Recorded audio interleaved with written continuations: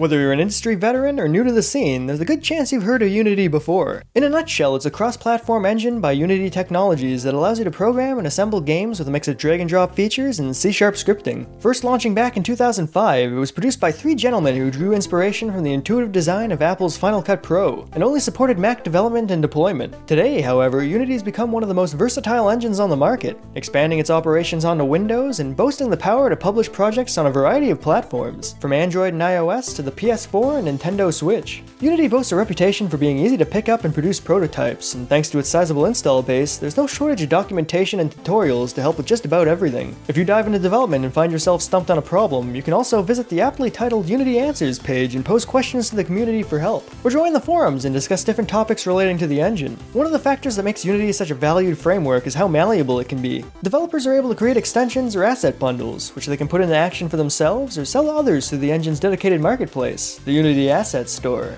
If you're looking to save development time or simplify your pipeline, it's not a bad place to browse. The storefront runs the gamut from input managers and visual scripting tools to character models and GUI elements, so while quality may vary, there's plenty of options and ratings to steer you in the right direction. The engine is available at three different tiers, Personal, Plus, and Pro. For beginners and hobbyists, the Personal version has everything you need to start prototyping ideas and doesn't cost a cent. Plus and Pro, on the other hand, come at a price, but offer additional features to compensate, like expanded multiplayer and performance reporting. There's no royalties involved at any level, but the tiers factor in if you turn a profit over certain thresholds. If you have the personal version and your Unity project starts earning revenue over 100k for instance, you'll need to upgrade to Plus and start paying a monthly fee. While it's often recognized as a tool for developing 3D titles, it can handle sprites and 2D pipelines too. Games like Cuphead, Bendy and the Ink Machine, Hollow Knight, and Animal Crossing Pocket Camp were all developed with Unity, so you could say it's a pretty versatile engine. Whatever your experience level, it's unlikely you'd be disappointed with what Unity has to offer. It wouldn't be much of a stretch to call it a staple in many developers' arsenals, so you should consider giving it a look and seeing if it's a good fit for what you want to develop.